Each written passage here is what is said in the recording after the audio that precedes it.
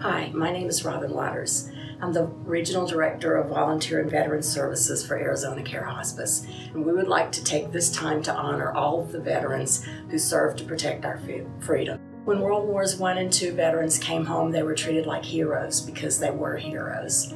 When the Korean veterans came home, they were sometimes forgotten. Korea was called the Forgotten War, and sometimes it wasn't even called a war, it was called a conflict. When Vietnam veterans came home, they were disrespected, they weren't welcomed, they were treated horribly, but they're heroes too. Our veterans from the desert wars had to deal with roadside explosive devices and suicide bombers. They're heroes.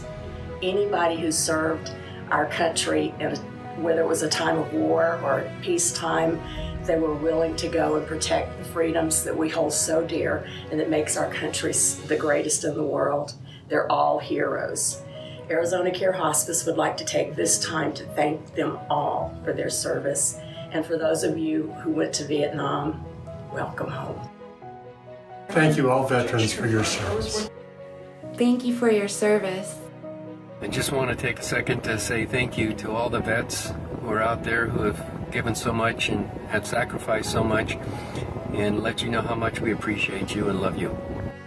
Hi, I just wanted to say thank you for all of your service. We love our veterans. Hey, I just want to thank all the vets this coming Veterans Day. We appreciate your service, your love for country. I just want to thank you very much. I had a father who was uh, in the Korean War, and I have an active duty son in the Air Force. And so my heart is with you. I really appreciate your sacrifice, your service, your devotion to the country because you deserve to be recognized and appreciated. And we here in Prescott, Arizona, with Arizona Care Hospice, really want to just say thank you. Looking forward to uh, making connection with the vets this upcoming year. God bless you. Appreciate you very much. Bye. Thank you for our service to our country. Hi, I would like to thank our veterans for their service. I greatly appreciate you. Thank you for your service, and thanks to you and your family for the sacrifices. Thank you for your sacrifice. Thank you for your service. Your bravery means a lot. Thanks for your sacrifices. Thank you for your service. And thank you for your sacrifice. Hi, my name is Suzanne. They call me Suze. I'm a triage nurse with Arizona Care Hospice.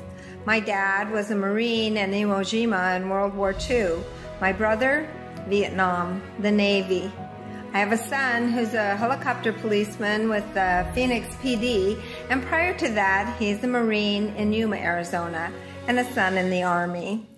I want to thank you, sincerely thank all of you and your families for the sacrifices that you made and continue to make, because I know they're ongoing, for our freedom and the lifestyle that we know and get to live today. Thank you. And for you Vietnam vets, welcome home.